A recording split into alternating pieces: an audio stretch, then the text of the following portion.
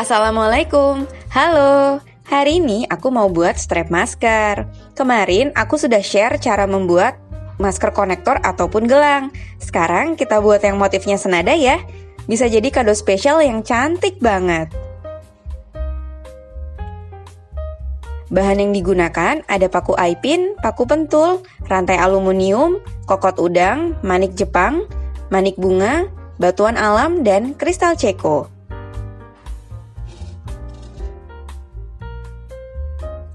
Pertama, buat rangkaian bunga yuk.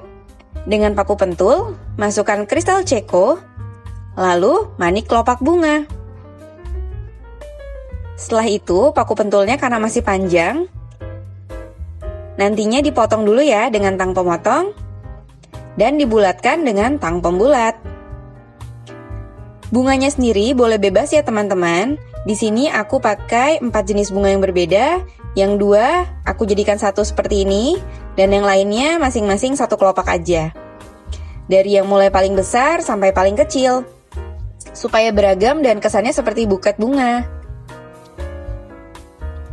Nantinya, rangkaian bunga ini akan dibuat di paling atas ya teman-teman, di dekat dengan kokot udang.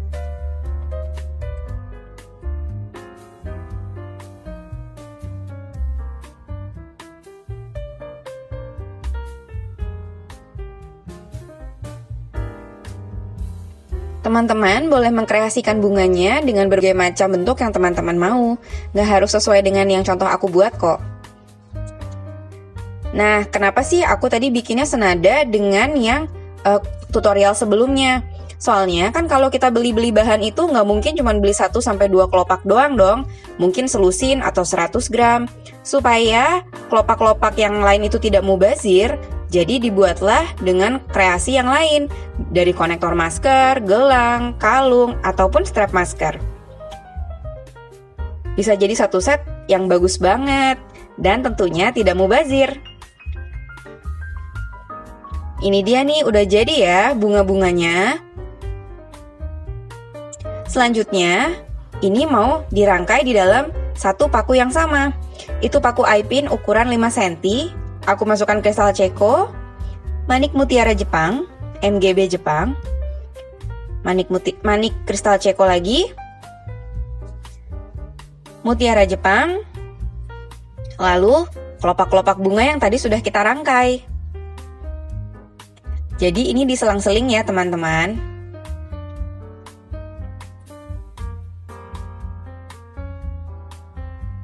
Nanti dia dari segala sudut kelihatan Bagus banget.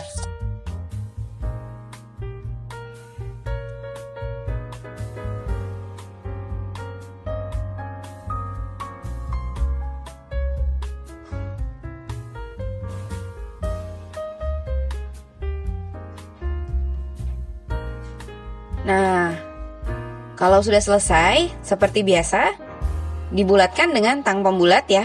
Kalau kepanjangan dipotong. Rangkaian yang aku buat ini, dua ya teman-teman untuk bagian kanan dan kiri dari strap masker.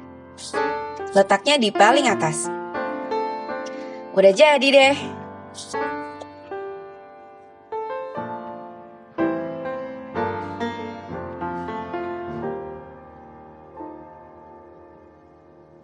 Ada dua ya teman-teman jadinya. Cantik nih dari segala sisi. Selanjutnya, aku mau membuat batuan alam ini Dimasukkan juga di paku aipin. Teman-teman boleh menggunakan paku yang lebih pendek supaya tidak terlalu banyak memotong. Nah, paku batu alam ini nanti akan digabungkan dengan rangkaian bunga yang tadi sudah dibuat.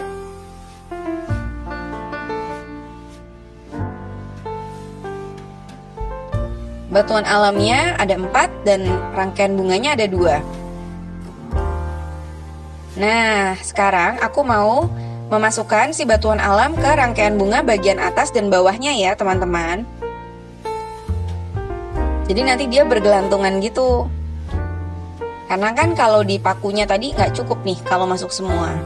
Jadi digabung-gabungnya dengan antar paku. Seperti ini jadinya teman-teman. Cantik ya untuk bagian atasnya.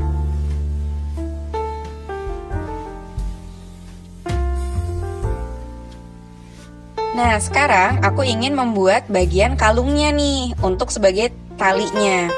Nah, ini adalah manik bambu Jepang MGB, MGB bambu. Nah, ini hati-hati ya teman-teman. Pastikan paku eye pinnya itu harus lurus dan masuknya itu smooth atau pelan-pelan. Karena kalau tidak nanti bagian dari paku Jepangnya itu bisa beset. Jadi seperti terkikis bagian dalamnya dan nggak akan cantik. Saat membulatkannya pun harus hati-hati karena dia maniknya tuh cepat pecah kalau misalnya kena sama tang. Seperti ini teman-teman. Lalu ini sambungannya nanti rangkaiannya itu dari bambu Jepang, aku pakai kombinasi dengan kristal ceko yang 4 mm.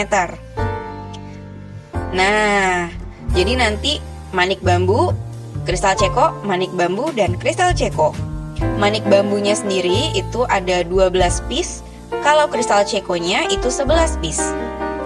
Seperti ini ya teman-teman. Nanti ini akan kita gabungkan. Nah, menggabungkannya dengan menggunakan rantai pipih yang 0,5 mm. Rantainya kecil, tapi buat aku sih ini kayak menambah kesan elegan. Jadi, rantai lalu dimasukkan paku bambu, maaf manik bambu maksudnya, lalu dimasukkan kristal ceko. Ditutup dan terus dirangkai sampai habis semuanya.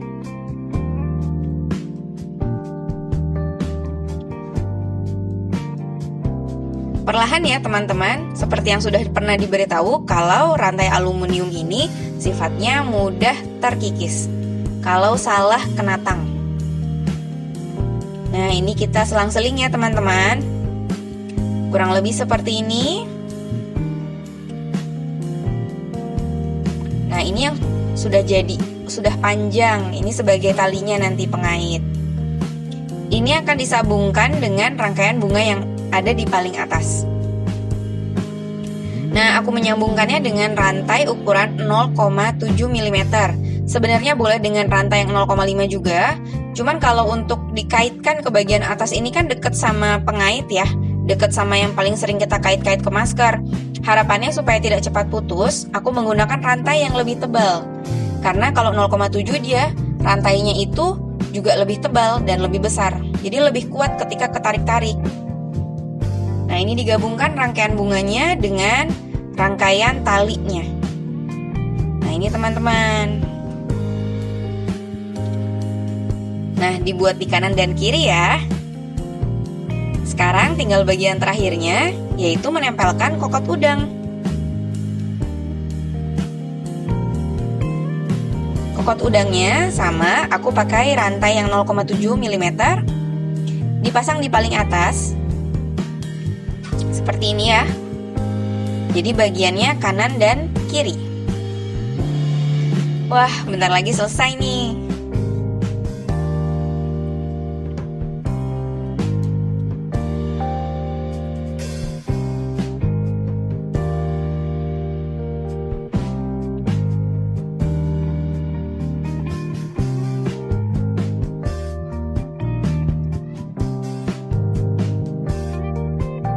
Nah, ini dia teman-teman bentukannya. Lucu ya dan juga cantik. Terima kasih ya sudah menonton. Semoga tutorialnya bermanfaat untuk semuanya. Bantu like dan subscribe ya teman-teman. Assalamualaikum.